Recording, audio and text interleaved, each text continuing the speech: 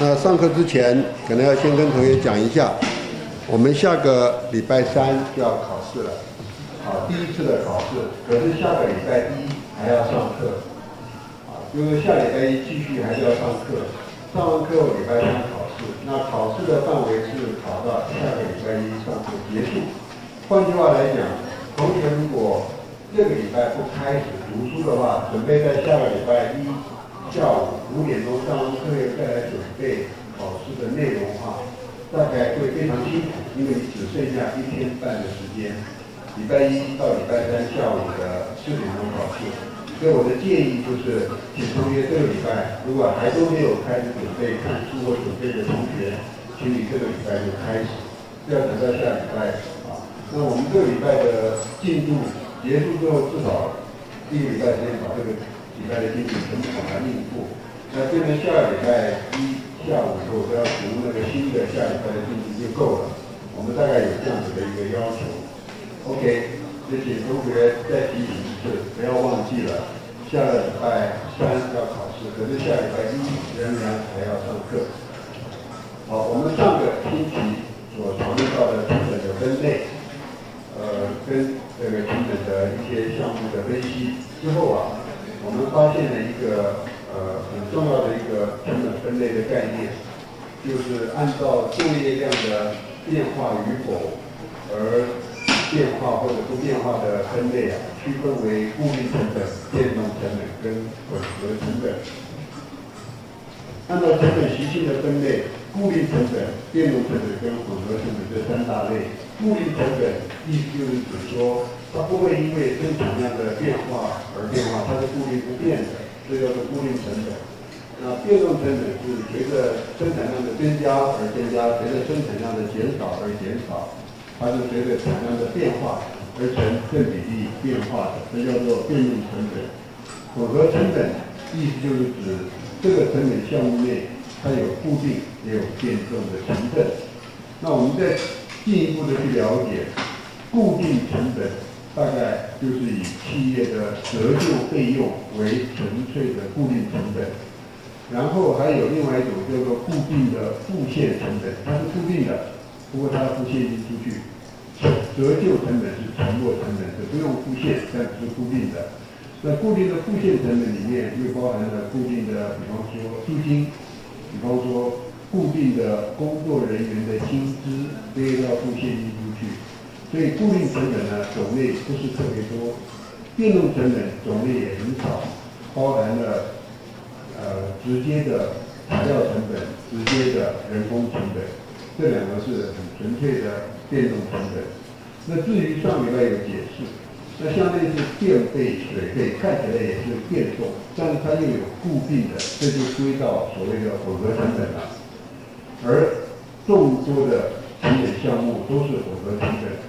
因此，我们跟着下来，我们会做一个呃准备的工作，如何把众多的混合成本利用成本习性分析区分为固定的额度跟变动率，就是这个章节的重点。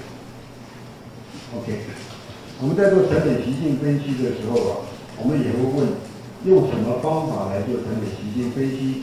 基本上，呃，有三种呃方法。基本的方法，当然有的书上可能还有所谓的目测法等等，但是我们在这边强调的是三种基本的方法。首先是会计科目法，其次高低点法以及回归分析法这三个主要的方法。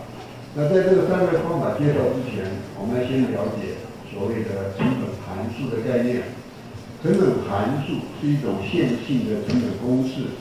它是 y 等于 a 加 b 一个什我相信啊，我们同学如果有上过管总管理统计的这个部分，应该上过了。不过温故知新，在管总的重点上面是在介绍同学如何利用回归分析做成本习性分析。在我们这个重点里面，固然回归分析是重点，但是延伸出去的是对管理的意涵。所以，请同学如果有学过的同学就更容易了，温故知新。OK，y 等于 a 加 b 一个是个 y，它通常指的是各项不同混合成本的会计科目的金额。啊，我们比方说这个呃电费成本，啊就是机器操作的用电的耗电的电费成本，这个 Y 呀，它这个成本怎么发生的？可能是因为我们机器在操作的小时数，机器操作越多，成本就越高；机器操作越少，成本就越少。有这种概念，所以说这个电费成本呢，就叫做因变数，因为机器操作小时的多寡而变化，就叫因变数。这个成本的科目，那这个 Y 等于 A 加 B，X，X 是指通常是指作业量。我们在这边强调的是机器操作的小时，它就是质变数。我们把机器操作小时变动，才会引发成本的变化。所以一个叫做因变数或者从属变数，一个叫做质变数或者叫做独立变数。那至于 A 跟 B 呢，这是两个那个常数。A 是所谓的常数，就是说我们不去操作任何机器，它也都。要有的基本的电费，也就是我们这边所称的固定成本。那 B 是属于变动成本率，在这边也称之为单位的变动成本。啊，它是随着我们操作的时间的多寡而增加或减少。好，因此我们我们在这边可以看得到，Y 等于 A 加 B 这个使的意思就是。Y 这个电费等于固定的电费加上每一个机器操作小时的变动率乘上它操作的小时数，这个叫做成本函数。这个成本函数必须要把它背起来。那再看成本习性分析的步骤，首先我们要分析的是选择哪一种方法，你要用会计科目法，还是高低点法，还是回归分析法？这个方法选择跟后面所要准备的工作不一样，所以首先要选定分析的方法，其次选择因变数。那么多混合成本的科目，哪一些符合成本，我们先来对付。啊，跟着下来要选定自变数。自变数就是我们会引发这个成本的这个变化的原因。我们以刚刚那个例子来看，机器操作的所需要的电费，它的。自变数呢，可能是机器操作的小时数。好，我们在这边强调是自变数，这个东西要选择，选择的对不对啊？还很麻烦。我们后面会去强调如何去决定啊，这个选择的这个自变数对还是不对啊？但是首先会先选择，选择完了以后啊，我们就要收集自变数跟因变数的资料，这个资料最少要有六笔资料以上。我们说，如果以月为单位，至少要有六个月的资料；如果我们是以每一个礼拜、每一周为单位，至少要有六周啊。那如果以周为单位，选择六个月的话，就是六六四二十四，就二十四资料。资料越多，它分析的准确度越高。那至少要六以上。那我们再利用成本函数来计算该成本习性。是什么样的状况？呃最后一个就是解释结果。啊，你这个全部做分析完了，可能还要做一个解释。啊，这个解释的意思就是说，到底我们找的这个自变数啊，可不可以解释那个因变数？就是我们找的机器操作小时，是不是可以符合说明它电费发生的原因？OK。成本习性分析的方法，首先是会计科目法，又称之为账户分析法。这个方法其实是最不科学的，我们本来不想要引用，但是呢，很多书本上也有，包括 Gary 的书也把它强调。再加上它不是最不准确的，它还某种程度至少还有一个经验的这个这个这个这个成分在里面，所以我们把它作为第一个介绍。这个介绍就是。会计工作的相关人员，或者去找工程师也可以，就是利用会计科目，按照以往的经验来对每一个科目来做判定，说这个科目是变动成本还是固定成本，那个科目是什么样的状况。那如果很清楚的是固定成本，我们就会把它分成两个栏位，在固定成本勾价；如果是变动成本，在变动成本勾价。那有一个附件册。附件这上面就说明变动率是多少。那如果是混合成本，就是固定跟变动部分都要勾选。既然是混合成本，那固定在这个年度里面，按照经验法则，有丰富经验的会计师、呃会计主任或者工程师，就会去决定这个固定的额度占百分之多少。如果占百分之四十，那因此这四十八算出来就是它的今年度的固定成本，剩下的百分之六十呢就是变动率。啊，用这种方式来逐步的把各个科目啊啊整理出来。所以，因此呢，我们可以看到材料、人工、制造费用、管销费用以此类推排下来，不同的材料、人工跟不同的制造费用科目列出来之后，固定成本就勾一下。哦，材料没有，人工有，叫做固定薪资。可是变动成本的部分，材料是变动，人工分两个部分，固定薪资的是固定成本，计件制的用生产奖金的叫做变动成本。那外包费用那是变动成本，因为接一个外包给一份钱，接多给多，接少给少，那是变动。模具费这个就是混合成本，我们用紫色的颜色把它区分为混合成本。这个时候经验就来了。那按照经验来看，大概是比方说四十八，总共花了一百块，四十块钱是固定的，六十块是变动。啊，那这个模具费的六十块变动呢？如果模具的套用过程中间有增减的话，我们就拿这个部分来调整，而这个固定的部分就不动它了。类似像这种，还有包括维护成本，还包括了呃消耗品啊，还包括了这个交通费啊等等，这些都是所谓的呃混合成本。这跟着下面就有这些数字啊，就全部是固定的或变动的或混合，都把它列出来。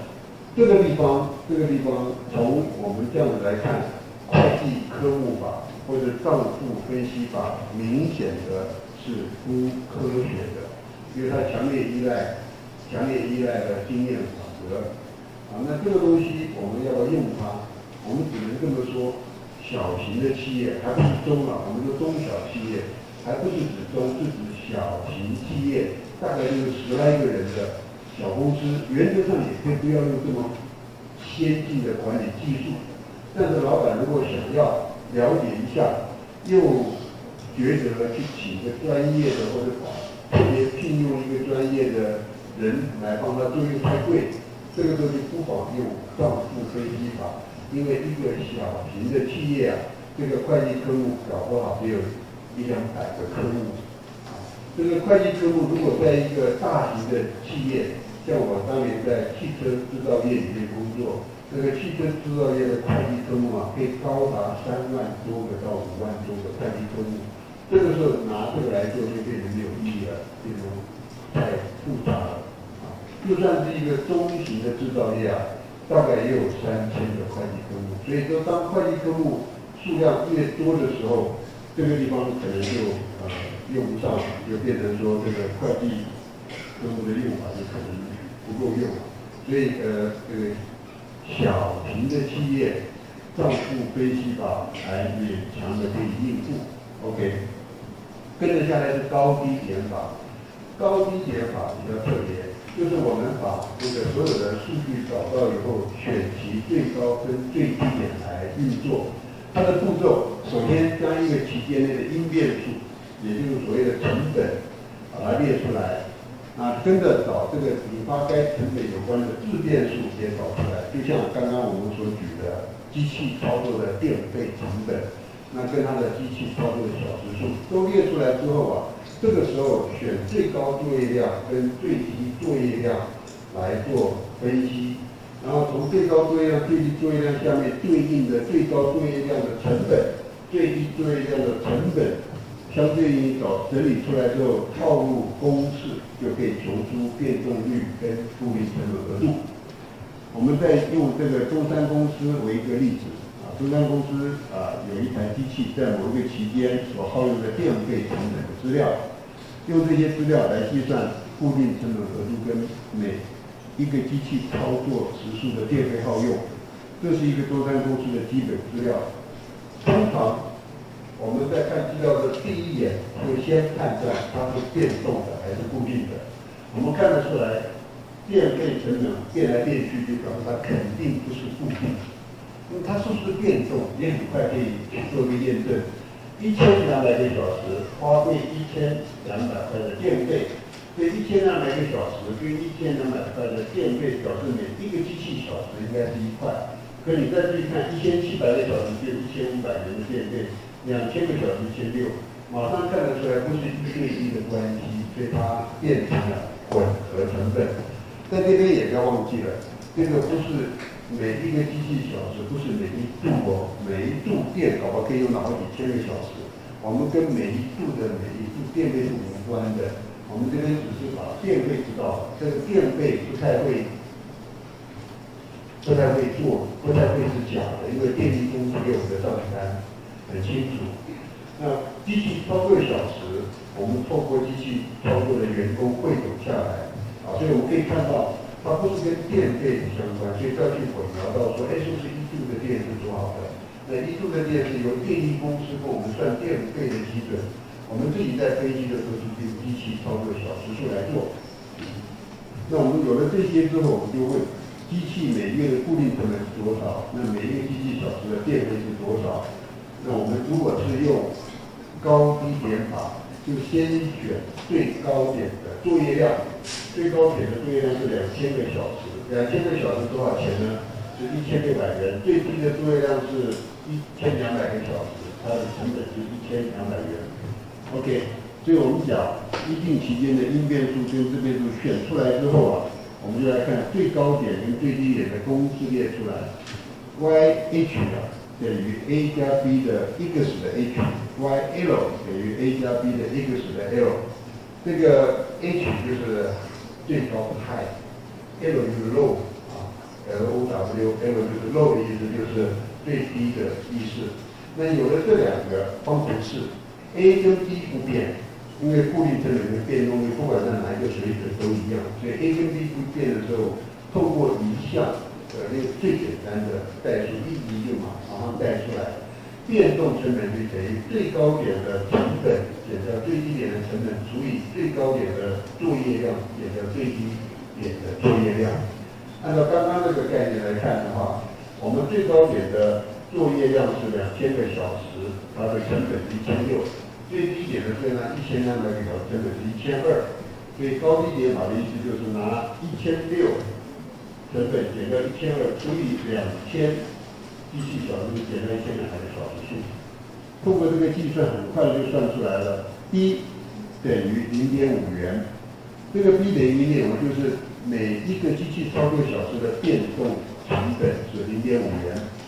拿这个零点五元代入最高点的 y h 等于 a 加 b x，或者是 y l 等于 a 加 b x 的 l 都是一样的，因为答案是一样，就可以算出 A 这个固定成本是多少。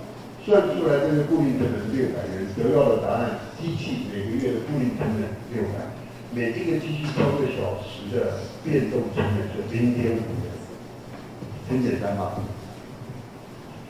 跟着看回归分析法，这个回归分析啊，又称之为最小平方法，啊，这个是在管理里面，管理体系里面特别强调。它一样的，先将一定期间的因变数，就是刚刚讲的电费成本整理出来，再把这个引发这个因变数的自变数，就是会引发电这个电费成本的机器操作小时数列出来。列出来之后呢，就用回归分析法的公式列出来，然后跟着把所谓的这个列回归分析法公式下所需要的任何资料先行算出，再套入公式就可以求出变动成本率。跟固定成本额度，那我们可以发现用统计来计算是复杂的。那 Excel 里面有现成的软体，啊，这本书上还是给我们做了一些稍微的介绍，怎么样透过 Microsoft Excel 来试算啊？那用 Excel 计算就会简单多了。这叫做回归分析法。我们还是用前面的例子来看，同样的一月到六月，它的机器操作数跟电费成本。那请问，如果用回归分析这个月的机器，呃，该机器的呃这个固定成本是多少？每个月的固定成本以及每一个机器小时耗用电费是多少？前面的答案是固定成本是这个六百啊，机器小时的每小时电费是零点五元。那现在用回归分析法，是不是可以得到同样的答案？好，我们首先看到这个公式之前呢，要先算这个嘛的 x y x 乘上 y 及 x 平方。这个我用这个统计呃管统啊，管统里面在计算最小平方法有两个方法。好，答案其实后面抄的太多，一个是用我们的常，就是原始的数据，一般的常态的数据。另外一个是取平均数来做分析，就是把 x 的平均算出来，y 的平均算出来，再来做调整。那用这个这个这个原始的数据来算的话，我们要做的计算工作多，不过公式复杂。我们用平均数来算的话，要计算的数据很多，但是公式简单。先这样说明一下，我举的是其中的一个方法，就是用原始数据来计算。原始数据需要计算的数据不多，所有的 x 加起来叫西格玛 x，所有的 y 加起来，以及所有的 x 乘 y 加起来，最后的 x 平方算在总数再加起来，就得到的这四个数字。其中 x 本身跟 y 本身题目都有给，这 x 的总和是九千七，这个 x 是机器操作的小时，y 是电费成本，全部加起来。是八千五百一十元啊，这个可是我们在做这个统计分析的时候，后面的单位就不要管它了。这个是元，这个是机器小时数，这个乘起来用平方加起来有什么意义？不要管它，那是数学家他们的计算的要求。我们要做的就是先算这个，再算这个，再把 a 值乘上 y 全部乘出来，六项的加总得到了一千三百九十八万四千，算出来。那跟着就算 x 的平方。对不对？第一个一千七百的平方是多少？一千八平方的以此类推，再把这个全部加起来得到一千六百零九万啊，得到这个 a 平方。这个都加出来之后套公式，这个公式会复杂。我们看到有 x 的，就是这个算出来的 x 的总和乘上 y 的总和，减掉我们的六个月份乘上 x x y x 乘 y x y 的这个地方，啊，所以。你要这样子，从下面乘这两个平方，那就马上可以得到什么？得到的变动成本的每一个机器小时的变动率。啊，这个算出来是零点五五三八七七五，数字很长，后面还有小数点。我在考试的时候，如果说取小数点后第二位四舍五入，就是零点五五三，这个发出来就是零点五五元。那下面算出来，如果是五百二十二点八九八零五，就变成五百二十二点九零元啊。第三个四舍五入到两位，我取两位到第二位啊。所以这样的话，就我这边只是故意把它算的比较清楚一点，全部用用出来。OK，算出来之后啊，我们就可以来做比较，高低点法跟最小平方法的比较。高低点法它的算数得到的是这个。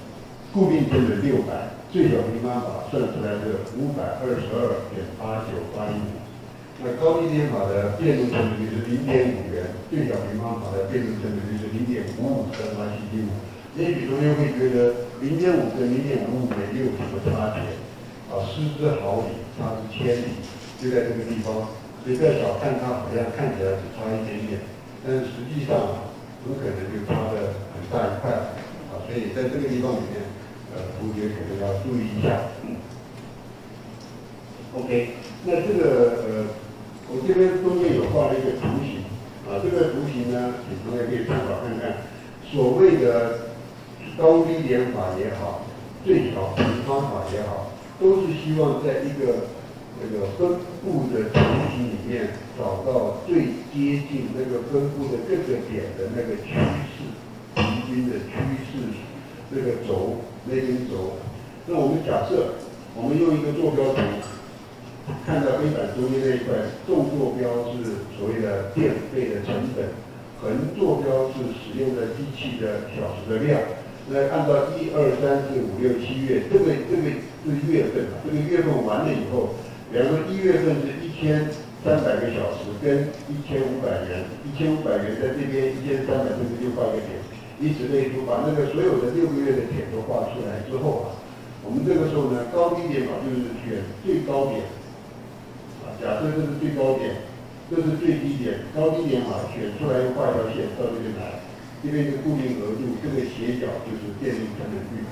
可是高低点法的一个风险，如果分布图的点最低的点是在这个地方，最高点在这边，一画出来就连到了 A 指轴上面，就变成完全没有意义了。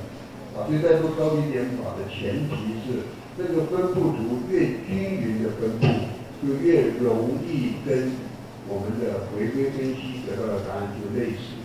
那如果是回归分析，为什么又叫做最小平方法？我们可以看到不同的点，这不同的点啊，我们中间画一个虚拟的平均线，就是呢我们类类似在每一个点中间的平均画一条线，画条线之后啊，把每一个点跟那条线啊所交接的那个垂直线啊，就可以画出一个四方形出来。这个四方形是一个呃呃面积，这个四方形的面积如果有六个点，把六个面积加起来得到一个数字。那如果我把那个线稍微调整零点零零一公分，整个的面积又变了，因为跟它接触的垂直线的这个长度又变，那又得到另外一个面积的总和。最小平方法，平方嘛，最小平方法的意思就是。我们在这个过程千千万万的可能性里面，我们算出来的是那个平方数的面积最小的。当它的面积平方面积的和是最小的时候，这条线就最接近所谓的那个各个点的趋势中间的最均最平均的那条线。怎么会怎么去证明用这个公式？你不要问我，那是数学家啊，他用那个公式这样算出来，说这个公式之下就可以算出最小平方数的那个点啊，那那个线是怎么样的情况？那因此，假设有这两个概念，我们可以发现高低点法跟最小平方来比，当然高低点法非常的不精确，比最小平方法还要差啊。OK。那高低点法的最小平方法看得出来也困难，因为它经过精准的计算，啊，需要的专业知识、需要的工具都比较昂贵，所以企业界会问啊，我们花了那么大的精神做成本信息分析，我们目的到底何在？如果没有太大效益，要做这个吗？为什么要做成本习性分析？这个问的很好，所以我强强调在前面强调，如果说是小型的企业啊，用账户的分析法或者会计科目法也可以的啦，不需要那么精确。但你如果企业开始规模变大，你的竞争越来越激烈的时候，你想要真正的做好成本控管的时候，这个时候我们可能就要用比较先进的方法来计算。其实，在这个成本习性分析还有另外一个方法，这个方法我早期还会跟同学教一下，后来发现实在没有太大意义啊。如果书本上有介绍你。参考看看就好，叫做目测法。目测法比会计科目法还要长。我们就是画出了六个点，然后让会计主任啊拿一支尺啊，在那个点中间用眼睛看目测，画一条线出来，这个大概就是了。那个画那个线啊，用的纸啊，都是叫做方格纸，密密麻麻很多方格，在文具行有卖的。每一个方格是，比方说额度是。一百块钱，所以一条方格一拉出来，十个方格就一千。好，如果每一个方格是一千块，一拉起来十个方格就是一万。好，以此类推，那我把点都露出来，我们开始心自由心证，啪画条线，然后再看它跟那个方格交界是多少距离，就算它固定成本多少。有了固定成本，再推估它的变动率是多少。那因此会变成十个人画，才会有十个答案。所以目测法更不准确。所以我们的准确度来讲，最小平方法最准确。其次，如果只要那个分布的点均匀，高低点法也算是可以运用的。OK，那因此呢，我们花的这些精神来做成本习性分析，目的在哪里？我们先看一个实际应用的例子。看完这个例子，我们再来探讨到底做成本习性分析有什么意义，有什么目的存在。我们还是用刚刚那个例子，一月份到六月份。啊整个的年度里面呢，呃，整个的半年度里面呢，用的机器小时跟这个成本。那经由简单的违规分析得到了 A 等于是五百二十二点九零，B 五百呃零点五五元啊，这个算出来之后啊，现在就开始问了，前面六个月的资料算出来一个看起来很科学的数字，工程师就预估七月份的时候，这台机器啊预计要操作一千六百个小时，这台机器预计要操作一千六百个小时。那如果是会计主任已经算出了这个数据，可以告诉七月份标准电费成本是多少，可不可以？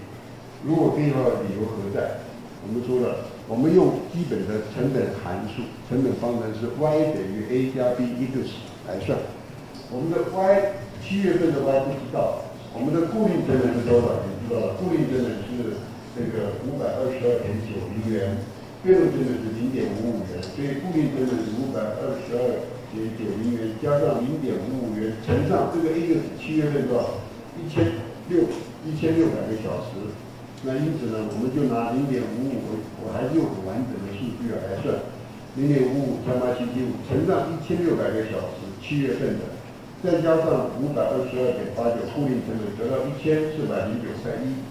可以看一下，一千六百个小时在。之前呢叫一千四百六十元，那我们现在经过新的计算呢是一千四百零九，不是一千四百六十了，这是标准的成本。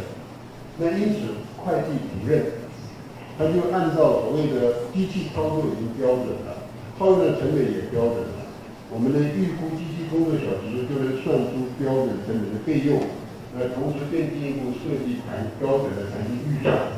那因此会计主任可以很凶悍的告诉。工程师说：“你七月份机器操作是一千六百个小时，预计的话，你的电费成本啊，标准是一千四百零九元。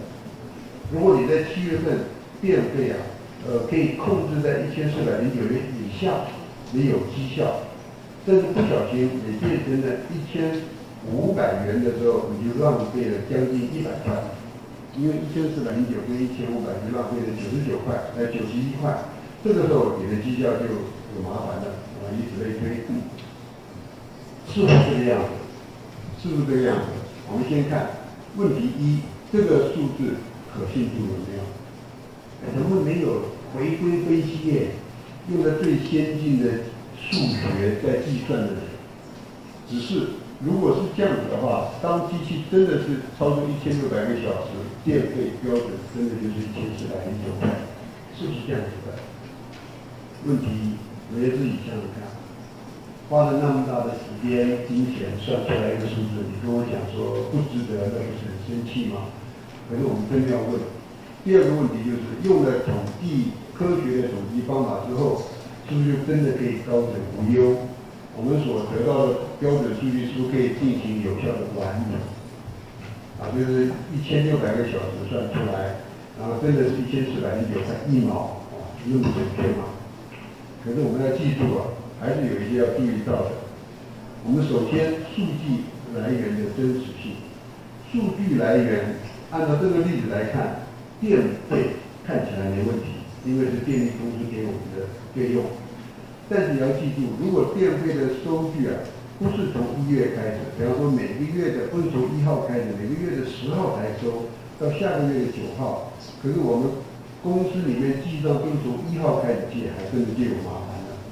所以数据来源本身要有真实的，电费本身，假设真的是一月一号到一月三十一号，那最好。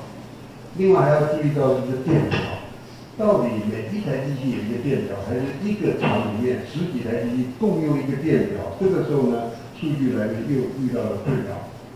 跟着下来，机器操作的小时数是不是计算正确？机器操作是谁在算的？是工人跟领班的。对，这个操作的过程有没有准确？那工人麻烦，我早上八点上班，下午五点下班，我就把八点到五点之间加起来就告诉他，就超过这七个小时的，可能未必耶。因为工人上班的时候，可能要先把机器开机，把参数设定好，然后软机到时候可以开始正常生产，搞到已经去掉了三十分钟了。然后在生产过程中间，早上休息一次，休息的时候把机器顺便关掉，然后去抽根烟，喝点东西，跟着上工的时候再开始操作一下，搞不好又浪费了二十分钟。这些东西都要准确的扣掉的，因为他们那个时候没有在没没有在用电。啊，所以操作数据来源的真实性啊，必须要先了解数据标准的正确性啊，也要去记住。所谓的数据标准，就是我们到底用的是不是所谓的刚刚讲的操作的机器小时数登记的很正确，电费也很正确的时候，是不是就是这样子的标准，就可以拿来作为我们的管理的依据了？也未必，因为这个数据标准的正确性，我们还要去做最后的判定，相关跟判定，相关跟判定来判定它的数据的标准的正确性。最后一个是最麻烦的，叫做统计方法的有限性。统计方法再怎么完整，还有一些灰色地带没有办法测试到，因为没有办法百分之百观察到每一个变数的情况之下，我们只是用统计。寻求它的趋势，在统计寻求它的趋势之下，还是会有一些比较非常态没有办法控制的。通常有的叫做行一行二错误，那就不管。我们这边只是记住统计方法还是有局限性的，但是也不会因为统计有局限性全部不用。我们至少我们可以把这两个先做好，啊来看看。那如果要用统计方法的有限性，我们通过相关跟判定的因素啊。来纠正，啊，所以这个地方啊，你们要记住。我们前面刚刚讲的计算的公式图要背起来，这个考试我相信一定会考，啊，因为第一次考试也没有太多的内容，所以说这呃计算的部分应该一定会考的。因为公式要把它背起来，那后面的这些公式就纯参考，就纯参考，我们不需要背它，因为我们也许不会用到。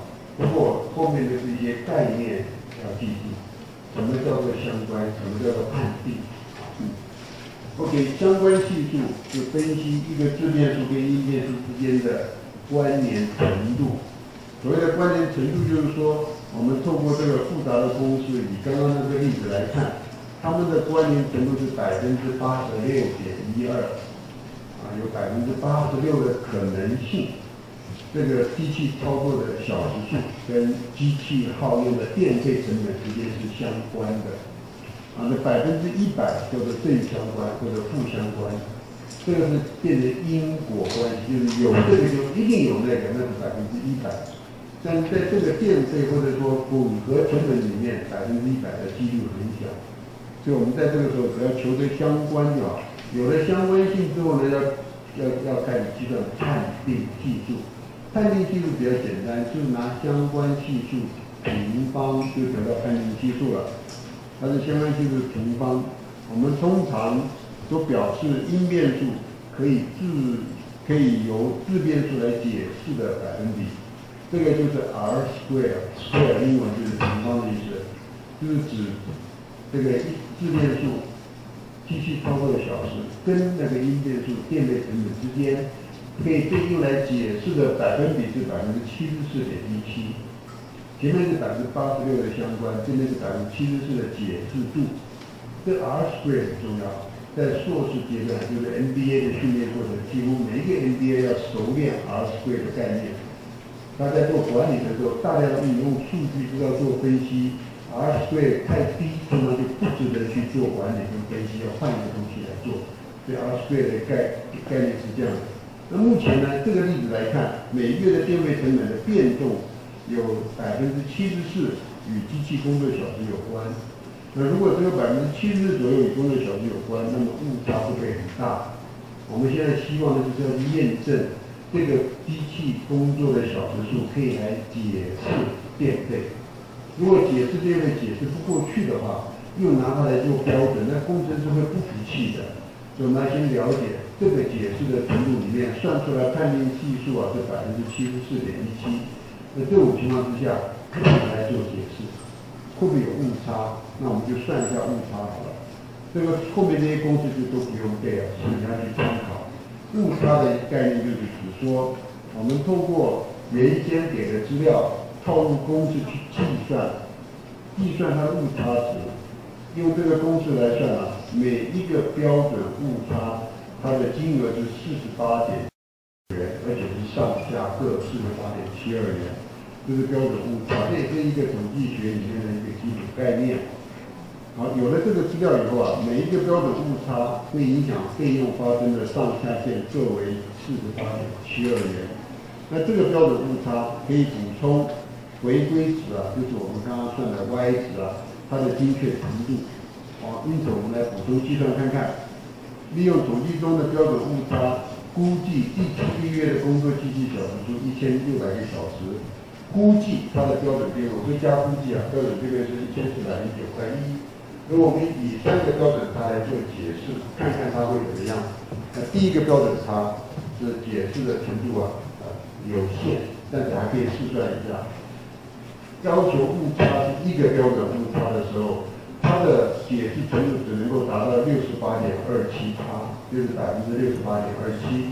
这个时候调整上下限各加减四十八点七二元，所以得到什么呢？七月份。一千六百个小时的操作，我们估计啊，我们推测，我们预估，这个电费会落在一千三百六十块三毛八到一千四百五十七块八毛二中间，这个都是合理的，都是合理的，并不会说因为比这个一千四百零九块一毛低到一千三百六十，就是说那你好节省，不是的，它有误差，跌到了降低到这么高，或者不小心从一千四百零九。涨到一千四百五十七块的电费也都合理，你不能说它没有效率，这样子的一个估计啊，准确度是达到百分之六十八。那当然还有百分之二十二，呃呃呃三十呃百分之三十二还不够准确啊，所以这个可不可以再准确一点？那我们就要把标准误差值提高，啊，到了三个标准差的时候，三个标准差的时候啊，我们就可以表示说。在七月份一千六百个小时的机器操作之下，电费啊落在整个区域之间，我有把握告诉你都是合理的，而且高达九十九点七三八，表示什么呢？这个时候电费落在一千两百九十二块到一千五百五十五块之间都是合理的，我有把握。它如果比一千两百九十二块还低，就证明它真的是有效率。它一千两百九十一块钱，它就节省了一块钱。那如果不小心上到一千五百五十六块，我告诉这个这个会计经理说，他确实浪费了至少一块，但是不是一千四百零九块哦，这个这个中间的值都是合理的，因为它的标准差很大。讲到这边为止，同学发现没有？根本不值得去注意标准，因为这个误差值太大。所以我们在做相关跟判定的时候，我们不要忘记，所谓的相关跟判定的意思，就是要判定。这个东西是可以合理的说服，这样子看来，用机器操作的小时数是不能说服我们说这个电费是这样发生的。呃，因此，因此我们就会怎么样？我们就变成说要再去找另外一个自变数。那假设电费成本不是机器操作的小时，那还有什么可能？我们猜测。哎，人工操作的小时可能，因为机器是由人来操作，它本身的机器小时数啊，那是没有生命的，啊，所以人可能会影响到它的变化。我们就把人工作的小时拉出来，再算一遍。如果算完了，判定系数依然只有六七十趴的时候，没有傻眼了，那怎么办？哎，还有一个可能哦，机器是这样的，材料的 input。到产品的 output，我们就可以拿材料用量来算算看。每一个月的材料用量是一个指标，电费成本是一个指标。啊用量来算呢，如果不小心更低，算了只有三十八、四十八的判定怎么办？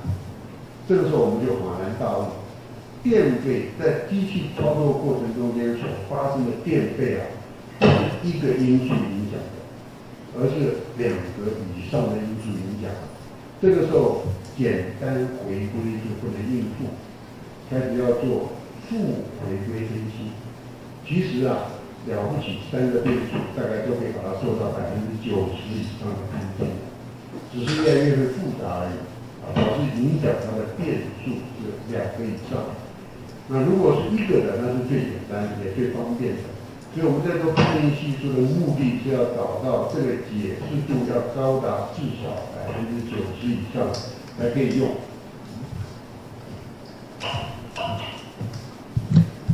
所以啊，这个目的啊，就是告诉同学，那因此也会变成什么呢？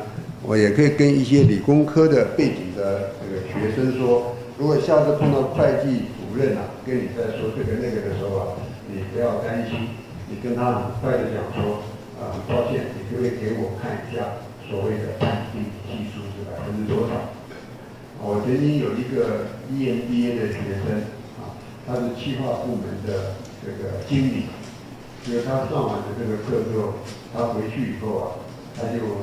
用这个方法对公司里面做了一些管理的整顿，呃，写了一个个人心得报告给我。我一看觉得很很有趣，就把他找来聊一聊。原来他说了，公司是一个中小型的企业，那长久以来时常会吵架，特别是针对成本的分摊跟成本的标准。会计部门的经理啊，一向都用经验法则。那生产部的呃厂长啊。时常会不接受，因为判定我如果觉呃如果说我没有效益，我个人又觉得我很努力，你给我的数据我就不相信。那每次吵了个半天，老板也束手无策。但是好家在，公司一直都在赚钱，只要公司在赚钱，老板的怨言也不会太多啊啊。不过那个计划部门的这个经理来到我们这边上课之后。哎，他回去就跟他的主任讲说，我们也许可以针对公司的一些成本会计的科目项目啊，我们来做一个整理。他花了整整两三个月的时间，啊，把这些科目表全部都做完整理以后啊，在某一次的高级主管会议里面，这位经理就丢出了数据说，大家不用吵了，我现在已经重新算过，以前的标准有一些不符合，因为它的相关性太低，更不要提到它的判定基数。有一些是很准确的，那至于太低的，我也设计出来，又重新的指标会很高。他说他把这个报告一做出来，啊呃呃厚厚的一叠，在会议里面一编出来的时候，突然之间完全没有吵架的声音了。每个人看到数据，都觉得好像很科学，因此很快的就新的制度就建立起来。所以这个东西是真的是有用的，在企业里面。我们先下课休息十分钟，然后再继续。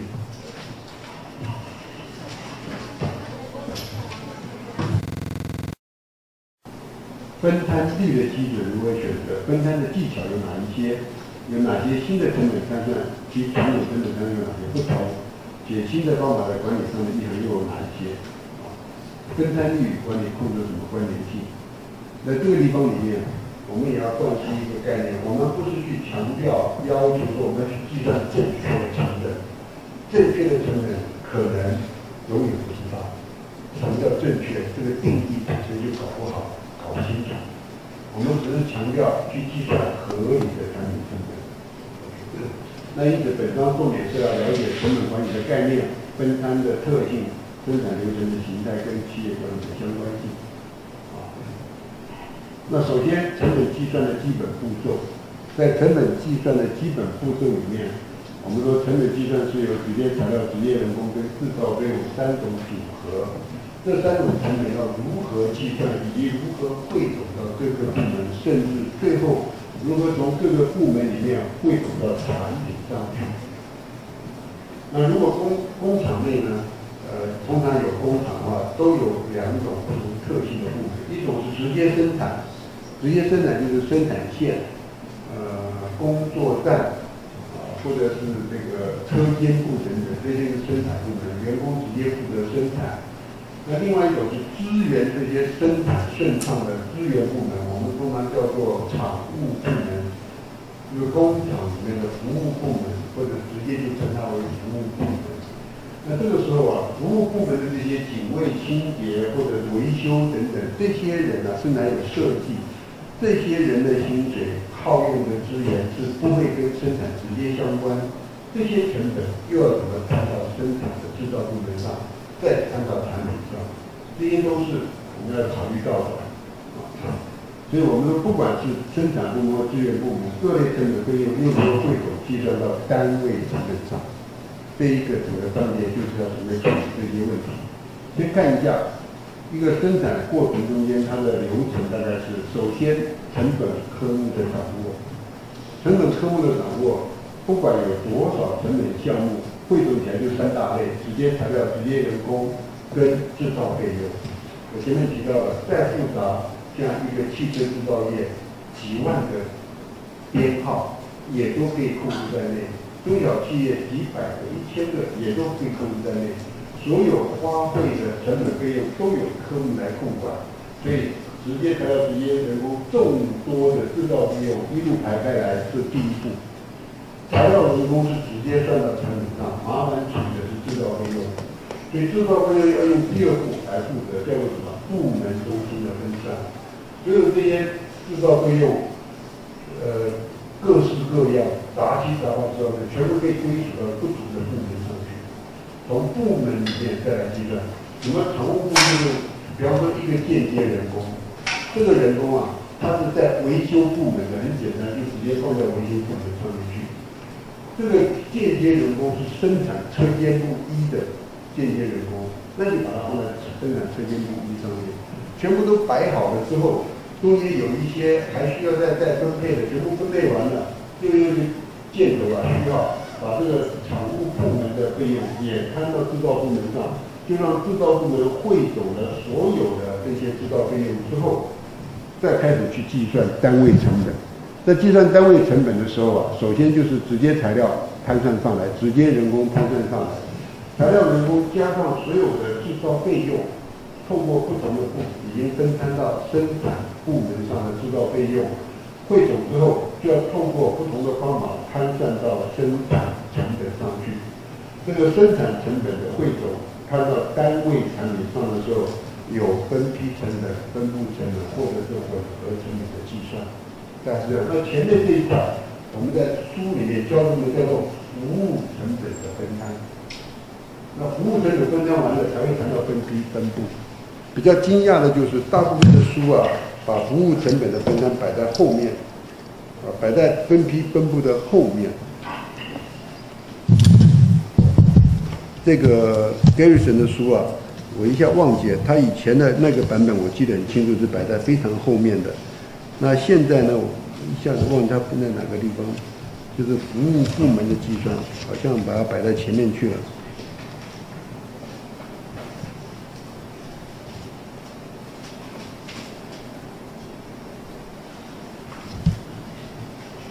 OK，我再回去找找看。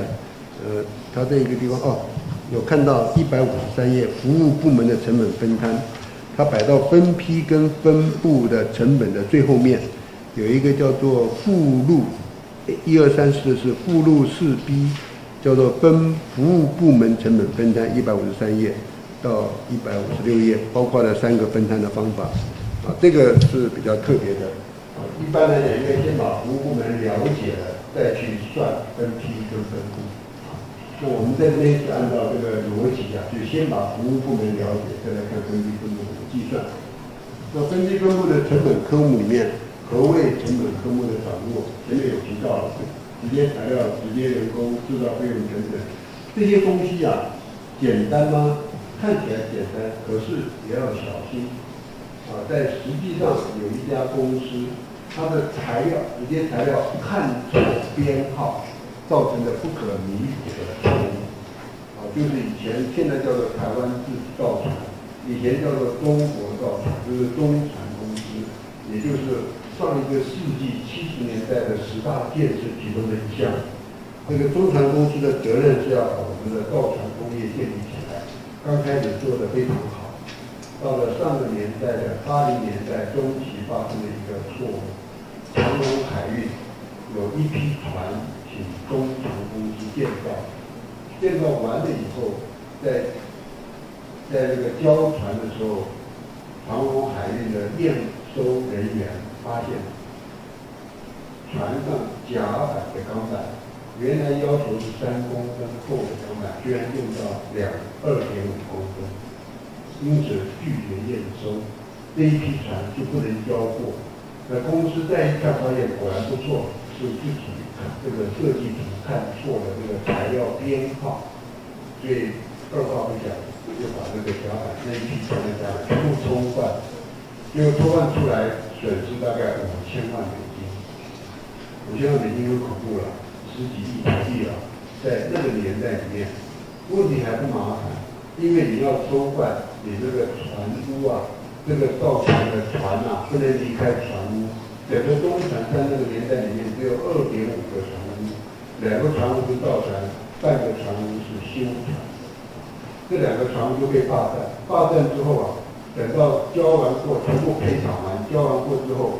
后面所有的造船的传奇全部延误了，全部延误了。其中有一个船东啊，是犹太人，一个美国的犹太人，非常厉害。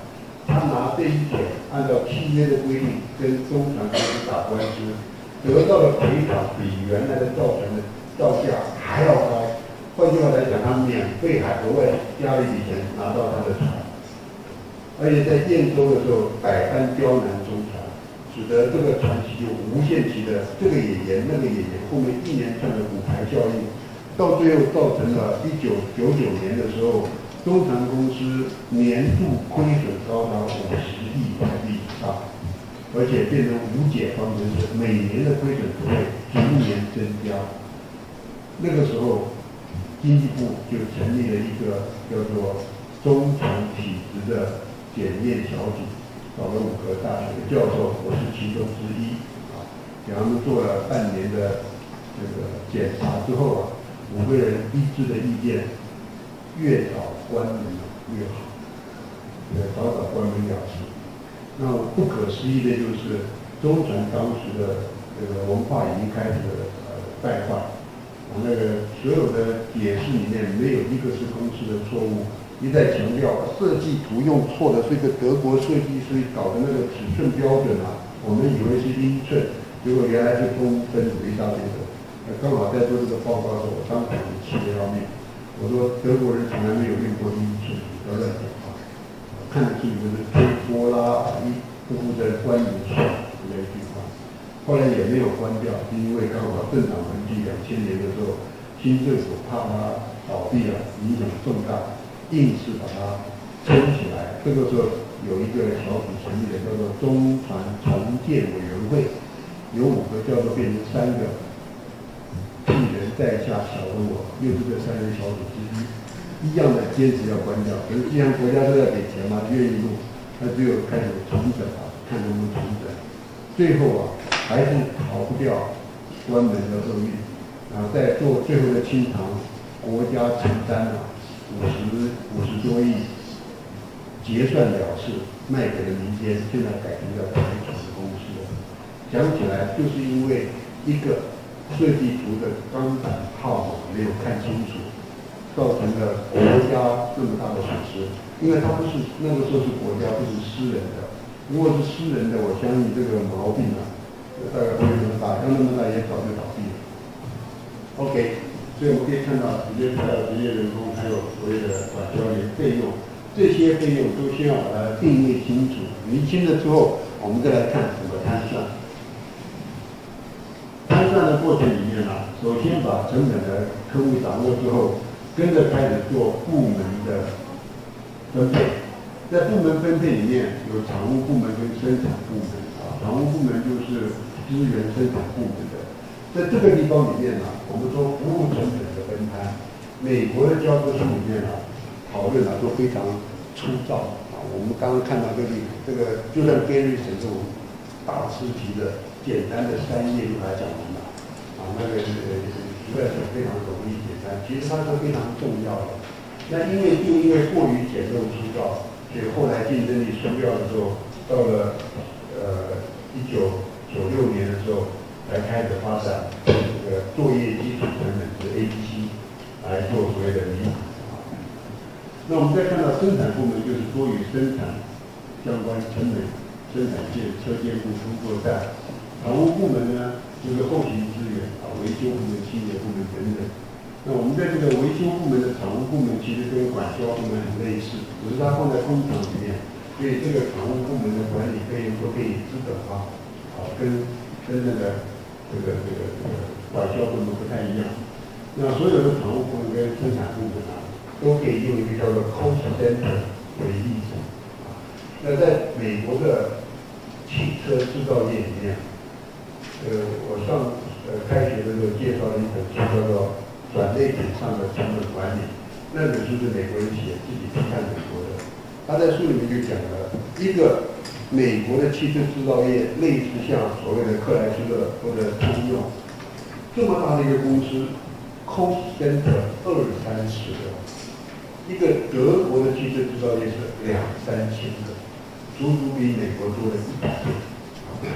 所以这样情况之下，竞争力自然在美国就乱七八糟，成本算的乱七八糟。所以我们要记住。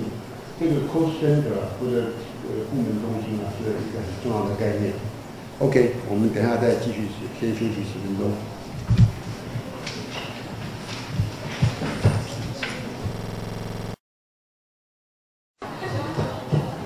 好，各位同学，我们再继续啊。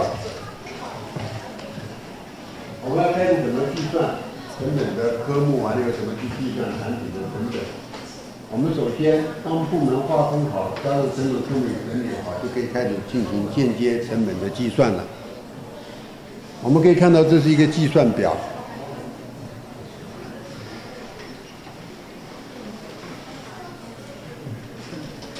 在这个计算表里面呢，也可以看到，我们首先把常务部门一二三、制造部门一二三，还有转销部门，把它用水平的列出来。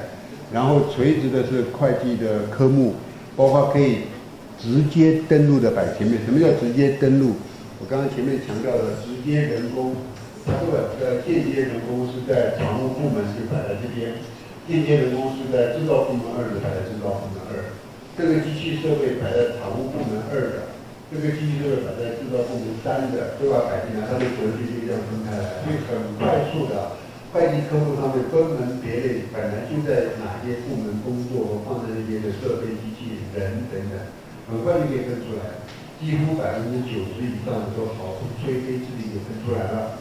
剩下来比较不容易直接登录的，我们叫做第一次分摊。第一次分摊像福利支出、保险费用、转行折旧等等这些东西叫做第一次分摊。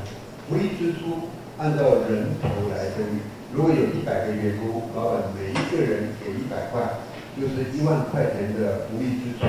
那这个一百个人在知道常务部门一有三个、十个、十二个，这边是二十五个、二十七个等等，我们就按照人数多寡，每一个用十块钱摊，就摊出来了。所以这个叫做第一次分摊，比较简单。那火灾意外险这个保险是按照所谓的财产价值来分。价值越高的保险费越贵嘛，这个很天经地义的。那因此呢，按照这个总财产是分配在不同的厂房里面。那厂房折旧，一个很大的厂房下面，呃，又有生产部，又有所谓的这个服务部门。那个时候折旧怎么算？我们按照它占的面积多寡来算。所以第一次分摊是把不能直接登录的科目分门别类。用简单的基准把它分摊出来。基准虽然简单，有的时候也不见得那么简单。那像比方说，我曾经有一次在呃以前叫做妇幼医院，现在叫做联合医院，在国外都叫妇幼医院。副院长叫我呃过去帮他做这个这个这个责任制度利润中心。当时就采取这样子的方式，啊，不同的费用分门别类分上去。那在制造业里面，电费、水费这些制造费用的科目啊，比较容易，因为他们都有独立电表。而在这个医院里面呢，整个的电表是一个。在这个时候，我就在想说，应该电表怎么分摊？当时想象中啊，医院的面积来分摊，因为面积啊，每个面积都有灯嘛，按照使用的面积多寡啊来分摊这个制造费用的时候啊。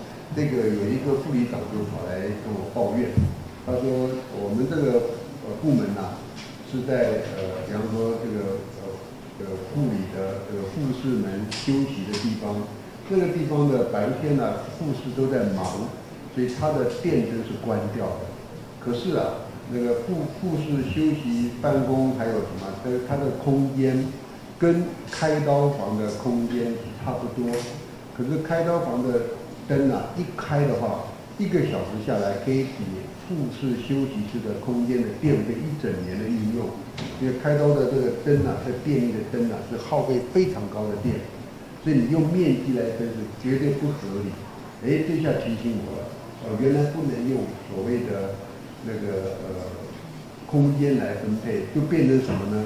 就变成灯泡有灯泡耗用的功率，那个开刀房的那个仪器设备都有技术说明书，按照那个功率的耗用啊来做分摊，它就变成了直接登录拿到下面的叫做共同分摊的概念就去做分摊了，大概有这样子的概念，所以也不是那么简单。啊，这个叫做第一次直接登录，然后第一次分摊完了以后啊。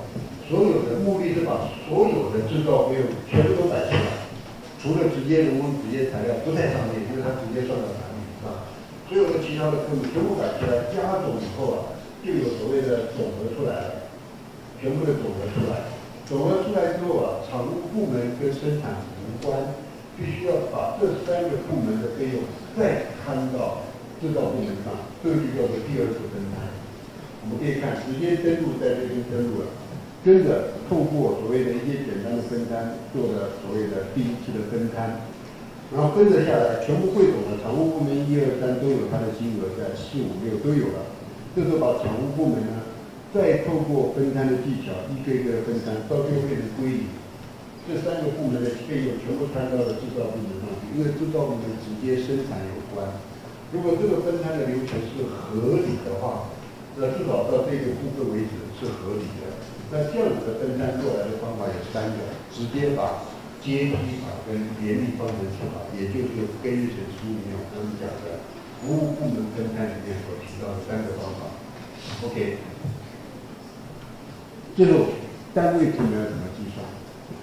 好，我们到这个为止大概把成本的科目项目掌握，也透过部门分算到了常务部跟制造部。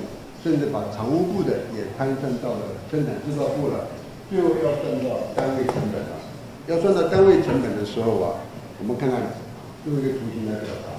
首先，所有的制造费用，透过直接部门登录，共同费用呢，也透过一些这这叫做直接登录，然后透过一些基准把它分摊，啊，就是第一次的分摊。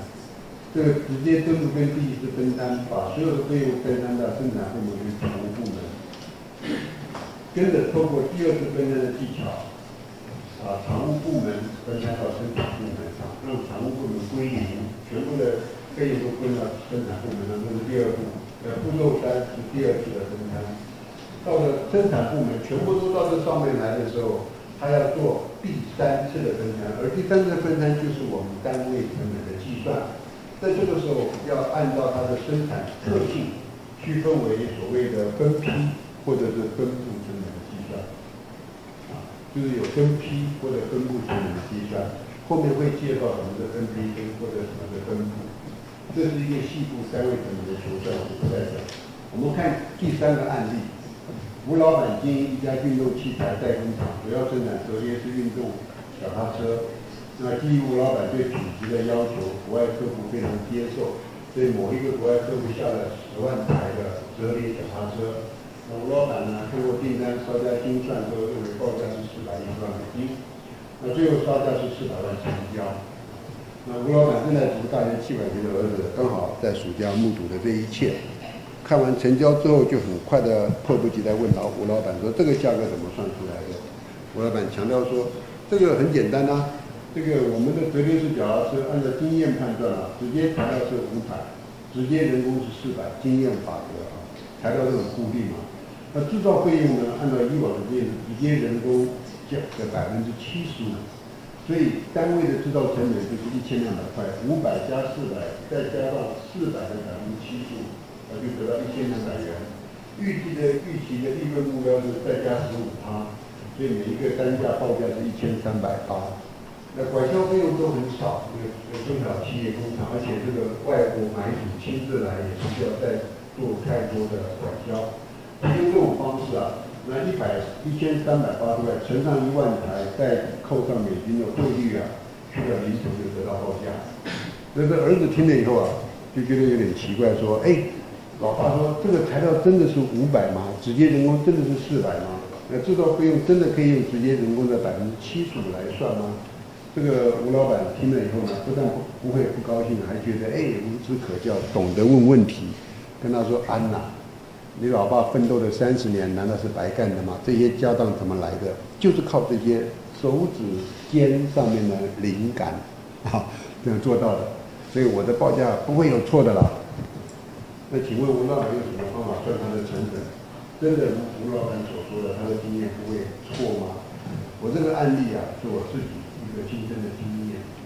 你早期在一九八零年代啊，一个大概一九八五啊，在德国读书的时候。我们台湾有个外贸协会，在世界各国都有分组织。德国法兰克福也有个外贸协会的组织。当年度啊，台湾有非常多的中小企业，拎着一个零零七的手提包，全世界跑去做生意。那这个台湾早期的经济的奇迹，有很大一部分是要依赖这些中小企业的全世界跑的这些这些游牧民族的努力奋斗出来的。那当年。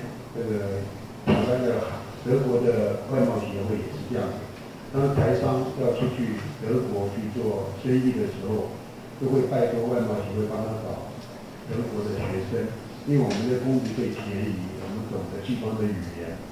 那因此，当外贸协会那个打电话给我的时候，我一听到马上说好好，我要去。啊，这个打工的机会当然有，不要在学校，我完全都可以配合。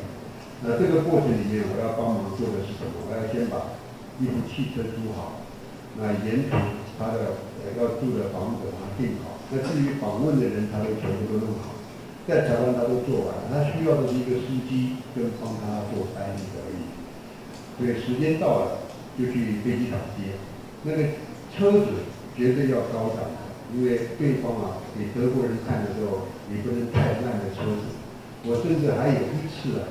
做的更绝的就是那个老板跟我叮咛说：“你是我驻德代表，表示我德国还有一个公司在，以让德国人更相信。”啊，那那简直有点骗人，还好没有被发现，否则到时候我连德国地图都拿不到。那不管怎么样，那一次呢，我就到了机场去。呃，台呃台台湾的商人一出现的时候啊，拿了两个很大的皮箱，我还在想说，开了五天呢。你带那么多皮箱干嘛？还有每一餐都要换西装、领带吗？什么之类的？原来不是，两个皮箱装的是样本，他自己跟我穿的一样的简单。啊，那因此一接到他，二话不讲，什么都不休息，就直接开车杀到第一个客户。那第一个客户是类似我们家乐福这种量贩店的一个采购部门的经理。这个老板跟这个经理已经是旧识啊，所以在以前都有电话往来的这个电传往来。去了以后，我就要再跟他做最后的确认。进到了这个采购经理的时候，还有一个大的办公室。那个经理一站给我吓一跳，一百九十几公分，至少一百三五十公斤的样子。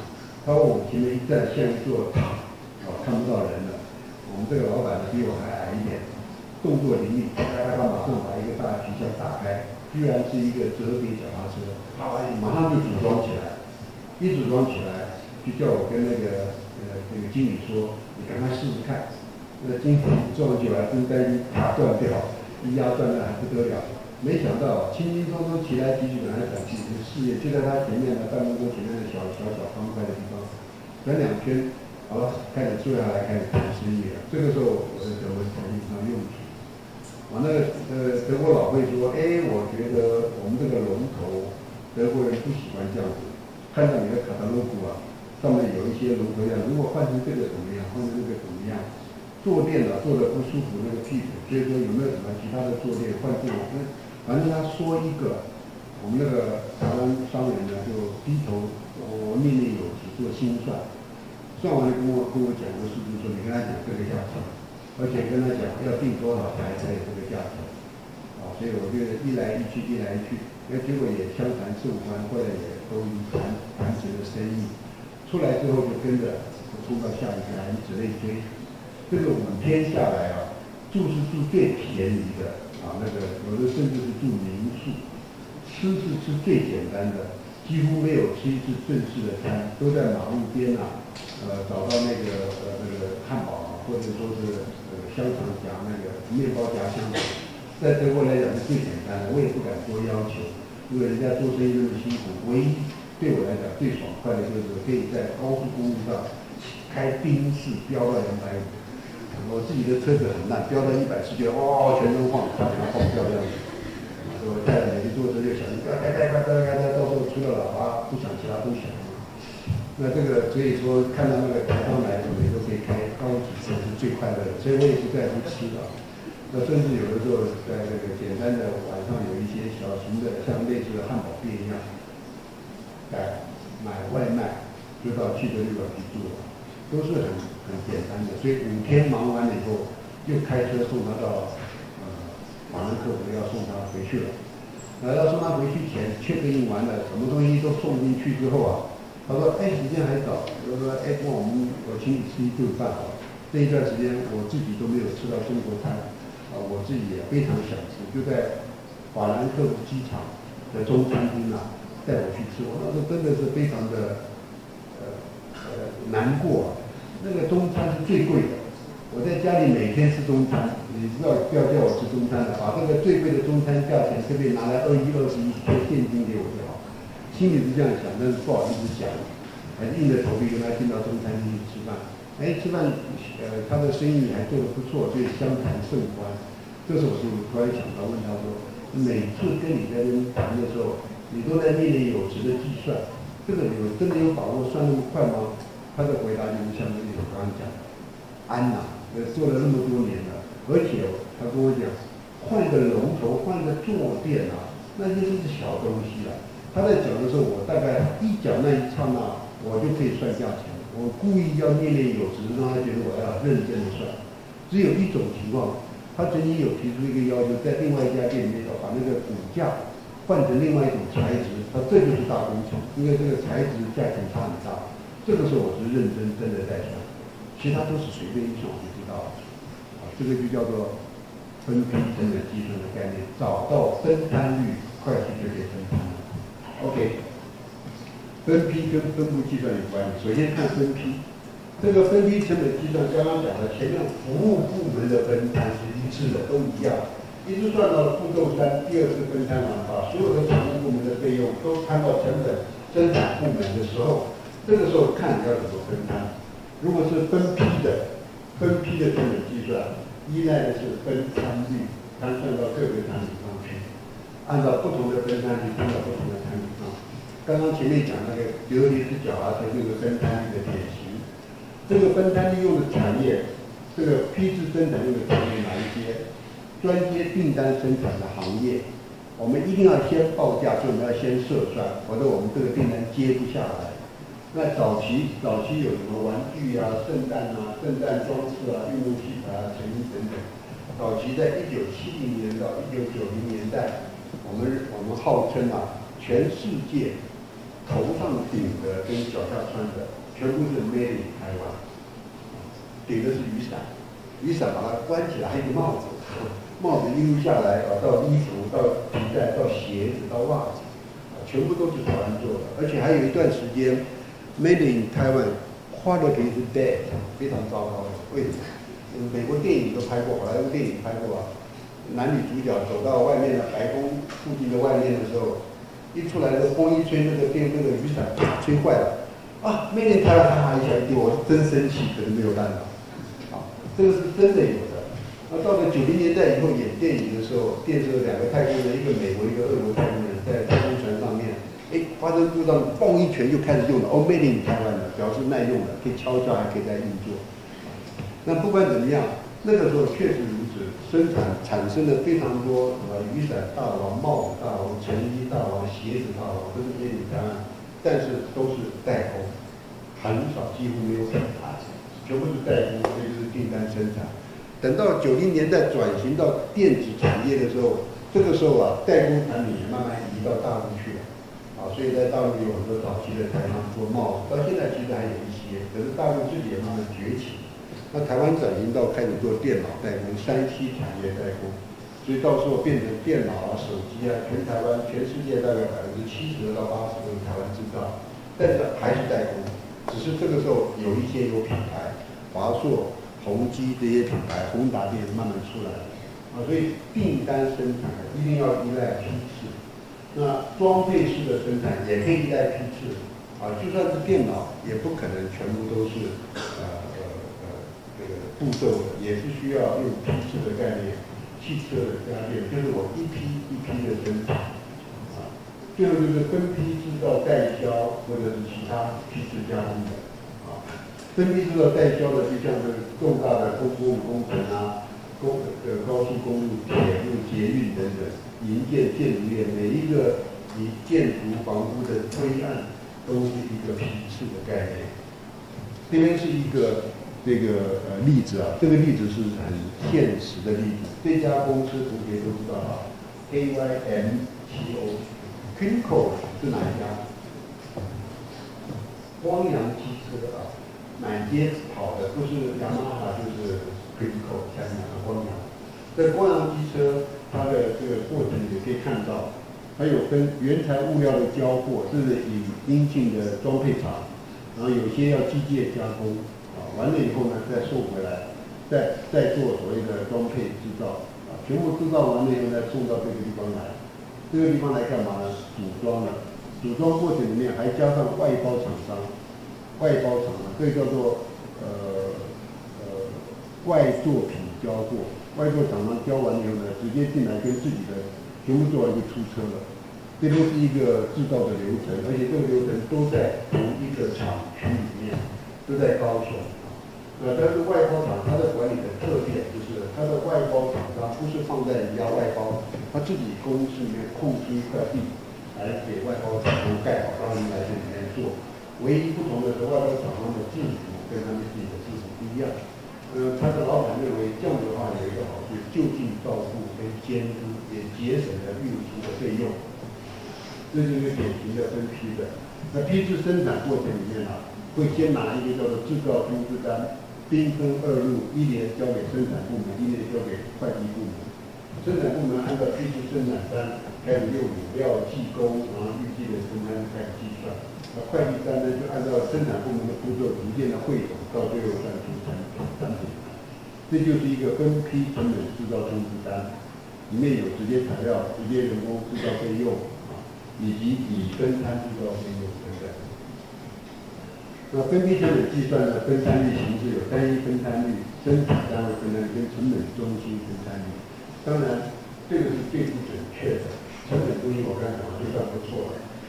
最近的发展就是作业基础制，就是因为整个汽车制造业在美国居然只有二三十个 cost center，太离谱了，所以用 activity 啊，就作业的基础来做。用作业基础来做的基准的话，就立刻会跟德国的汽车厂一样，就有好几千个 cost center 出来啊，这就是一种改革。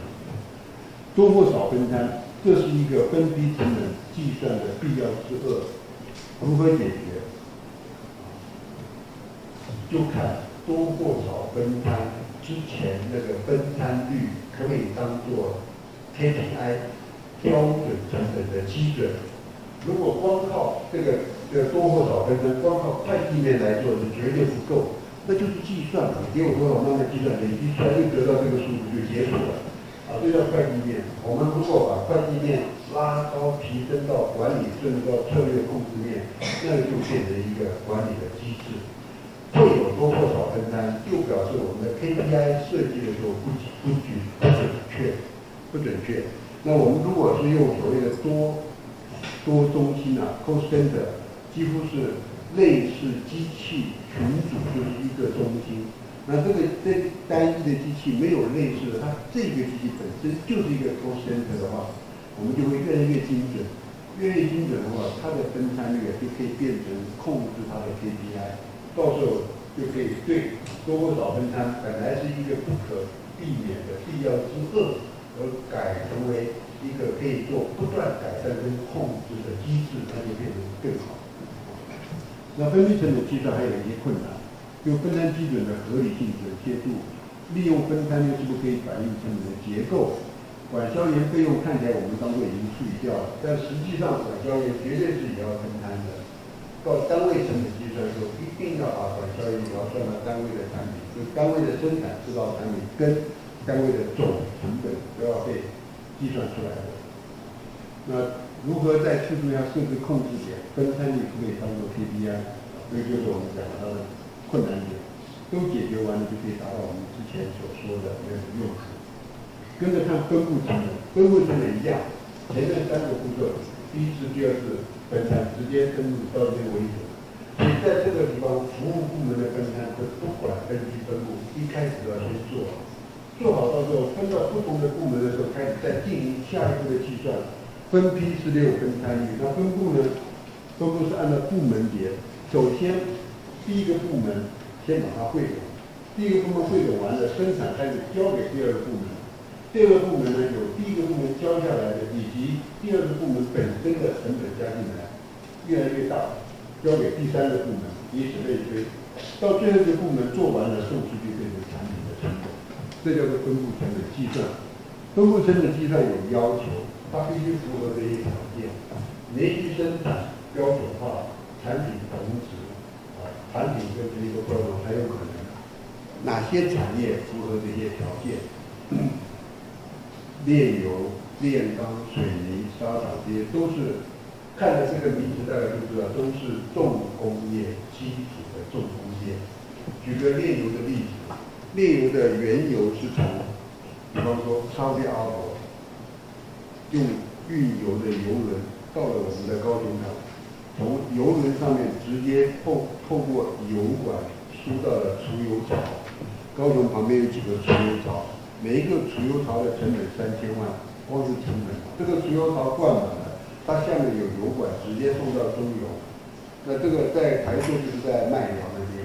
那一送呢，它不会在外面上面运输的，这个成本太高又危险，就全部在下面。下面这个油管啊，把这个原油直接输送到中油的炼油厂的时候啊，它就开始不断的一路的生产。所以在中油啊，这个这个炼好的不同的油啊。都是按照它的燃点跟加入的材料分成了所谓的高级汽油、跟这个这个这个这个机油、柴油等等，甚至它的副产品还可以透过下面的油管，也是下面油管到了油品加工业，啊，包括材橡啊去做橡胶、去做塑料啊等等，全部都是这样在做的。所以这个叫做一贯化生产。一进来以后啊，每一个步骤不可能倒逆回去，一定要沿着跑。一逆回去就完蛋，整个爆炸光了。所以它一定是沿着跑的，就部门别，这个部门完了都要下一步的强制性的。炼钢也是一样，对不对？铁矿砂、石灰石的原料也是从外面运来，在中钢的那个仓储啊，这个材料库存那边很可怕的，啊，那个一堆啊，一个像山一样的，小丘陵山一样的，很白的石灰石，铁矿砂很黑的。但是有的时候还有绿色，还有红色的其他的石材，加到炼高炉里面去。高炉的温度可以高达一千六百度。高炉啊，会把这些石、这些材料烧成铁水，烧成液体。这个液体要马上进到鱼雷车，因为很像，长得很像鱼雷。这个鱼雷车有轨道，一装进去，这个还是液体还是水哦，要快速奔跑到所谓的转炉、转弯的。转炉就是把那个铁水拿起来，到了那个这个转轴上面，一到了转轴就哗就开始去炼钢了。啊，那个这个温度要严格控制，到那个转炉的时候，导出来的时候已经不是纯粹液体，变成半液体半固体的状况。它会就是我们看十八建设或伟大的建设、国家建设的那个炼钢炉，爬出来那一整片瀑布一样的，那都已经到转炉了，不是高炉，高炉出来是水是液体。所以这个鱼雷车啊，里面是用耐高温器材，可以到一千八百度的瓷器器材做的。那一个鱼雷车也要好几千万台币。那如果说时间抓的不准确，或者因为被严冻而使得它的鱼雷车送到转轮慢的话，整个里面的铁水就变成硬的铁块，到时候就要敲掉。敲掉的时候，这个这个肯定也会坏掉。所以那个敲掉的过程里面啊，一不小心啊，一部鱼雷车就报废。所以这个因为是有中钢，呃，中国钢铁的那个工程师也是我的学生，他的报告就是写鱼雷车的成本控管。所以有学生是蛮好的。那这种这种过程我们也时常去从中参考。所以这些都是重大的基础工业步骤一下来，一步一步很清楚的。在生产过程中又分为单一步骤。多项步骤或者一项或多项步骤的整合，每一个步骤后面都有一些产品加工的形态。那我们按照这个会计部门来看的话，一种产品连续制造类似基础工业的石油电子业，就是从再制品、制成品一路下来，啊，一个产品一个步骤。那如果说是一种产品平行的，经过很多次再汇总起来的化学啊、制造业有这样的一个方式，或者说是多种产品选择式的，它可以直接出来，比方说屠宰可以直接就卖掉，也可以呢经过熏制再卖掉，也可以熏制完再再做腌制。那在不同的情况之下，所以分布可能有不同的状况。这是一个有功于造纸厂的一个造纸的流程。也可以看得出来，从纸浆灌入之后一路下来，中间有一个半成品可以出厂，这个卷轴的纸可以，呃，原子可以再继续加工，变成更精细的。那在这个过程里面，成本分布成本的计算里面有个特别的地方，本期本不同意甲部，这个甲部门啊，可能一月一号投入，到一月三十一号的时候啊，我们就要人为的切断。有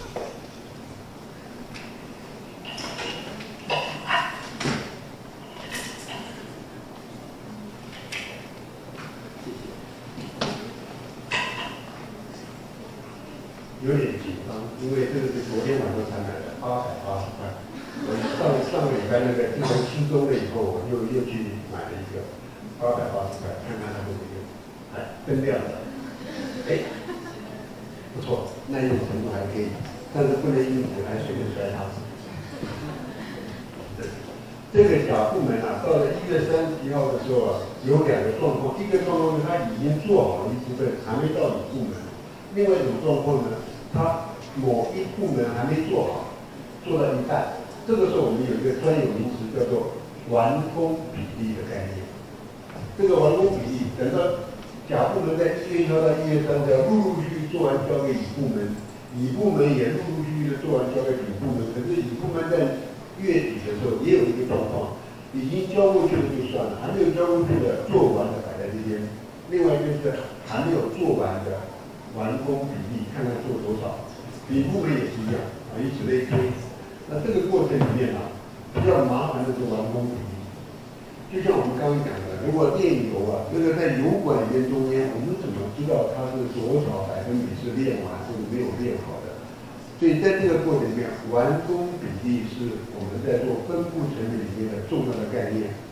到这边可以发现啊，我已经有三个字很久没讲了，在前面分批一直在挂在嘴巴上的三个字，叫做分摊率，在分布成本里面是没有听到的，因为它。一路不需要再用分摊率，它用的是累积的方式，不是分摊的方式。累积完了交给下一个部门，怕的就是这个累积的过程中间做好的交给下一个部门没错，没做好的到底有多少百分比没做好？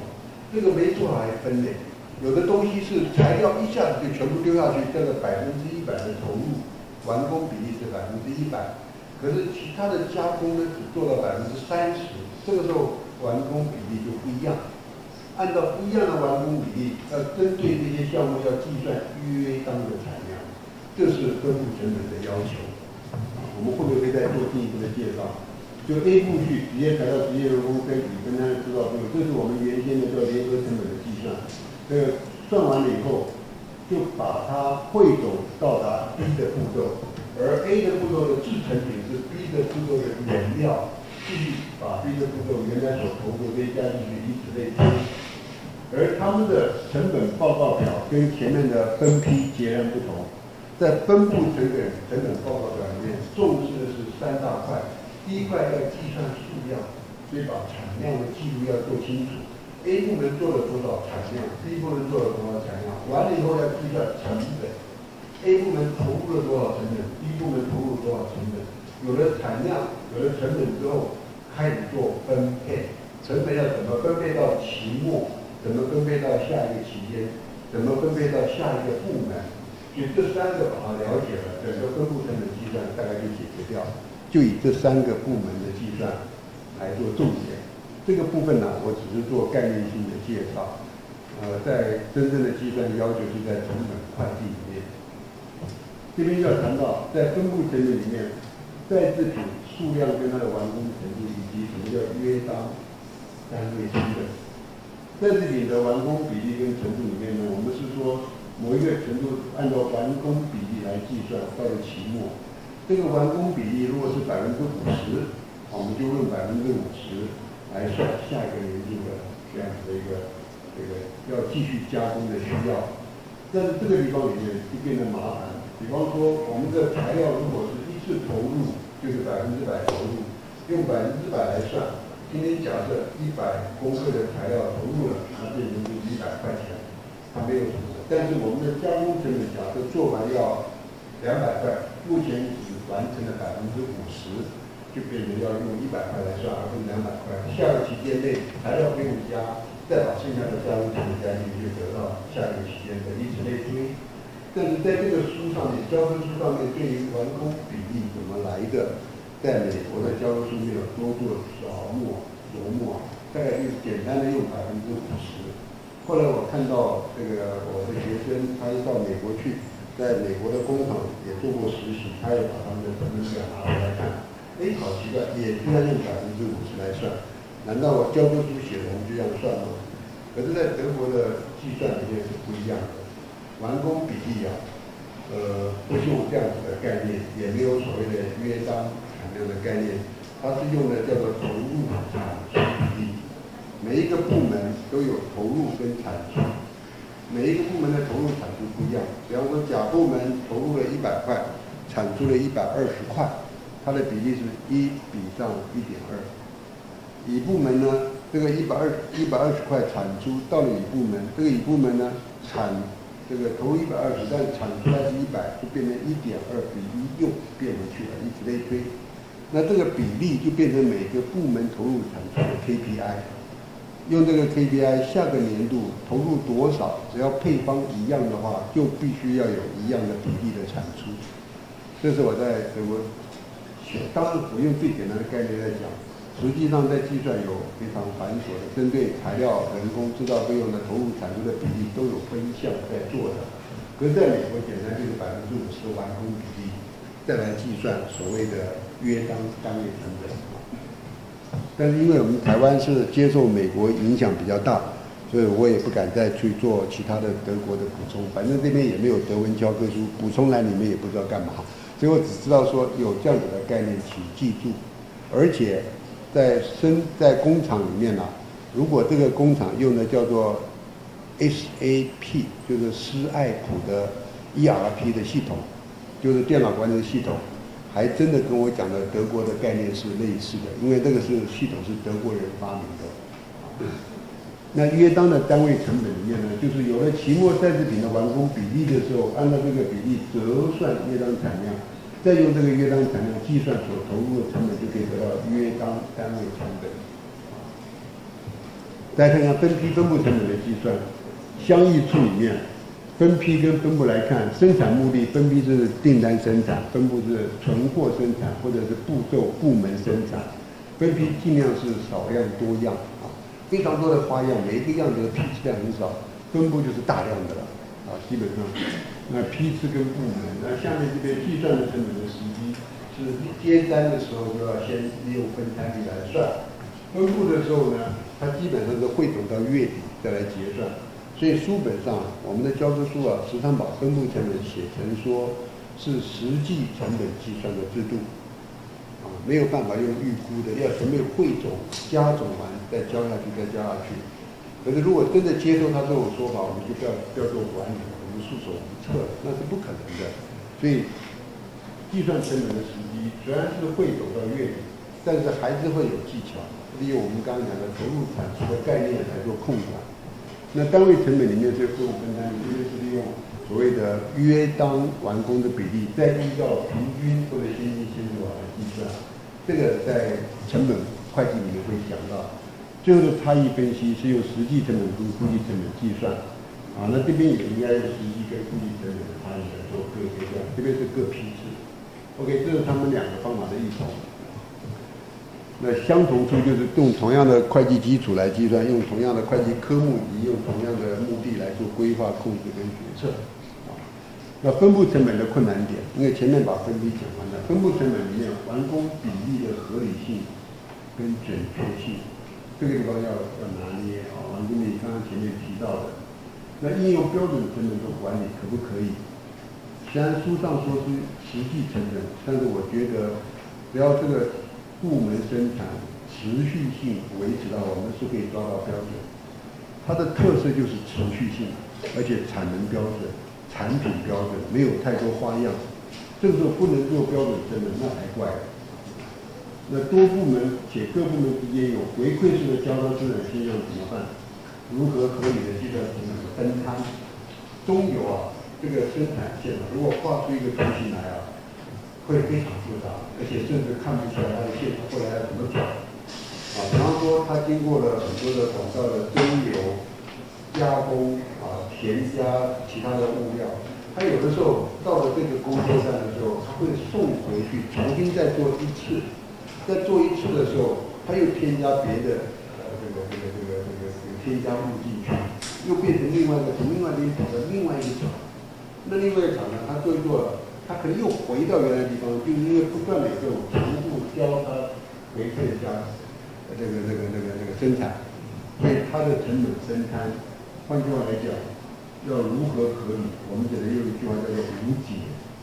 啊，这个案子啊，在台湾类似像台湾电力公司、呃中油公司、台积电公司，都曾经针对合理的成本，有委托外面气管顾问公司。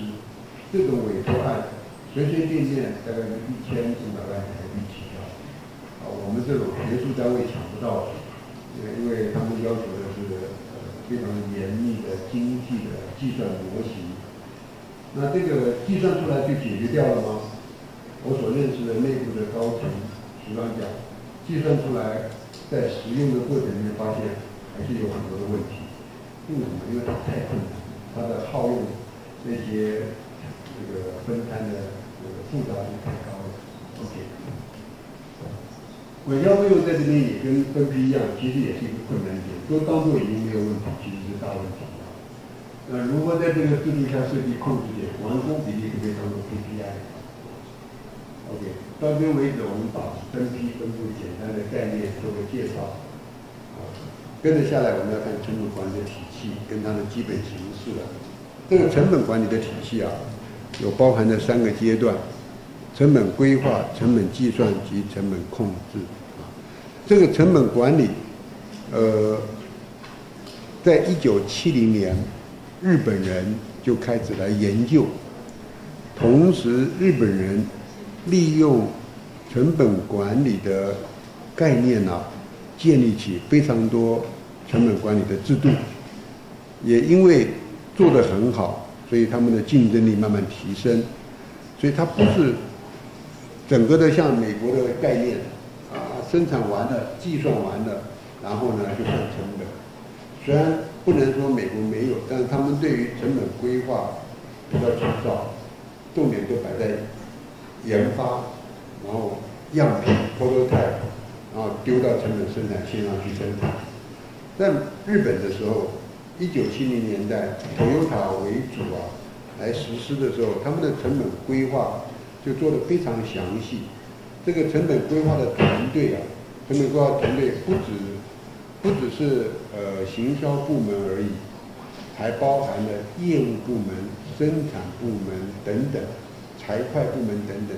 因此，这个 team 在做研发阶段就已经开始在思考它未来在市场上被接受的可能。这个由业务部门来负责，来告诉研发部门，财会部门就开始在计算类似的成本，生产部门就在按照你的生研发这个产品的特性，在预估生产设备的安排，所有的都会去在成本的规划里面要做到。这一点啊，我也时常在想，到了一九九零年代以后啊，美国人呢开始发现了。他的世界市场的占有率啊，逐渐的被德国人、被日本人抢下。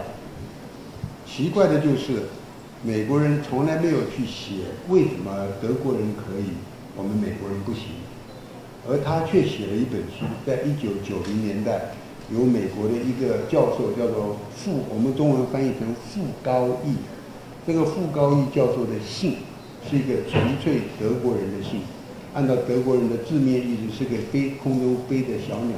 意思，波格就傅高义先生，他写的这个书叫做《日本能》。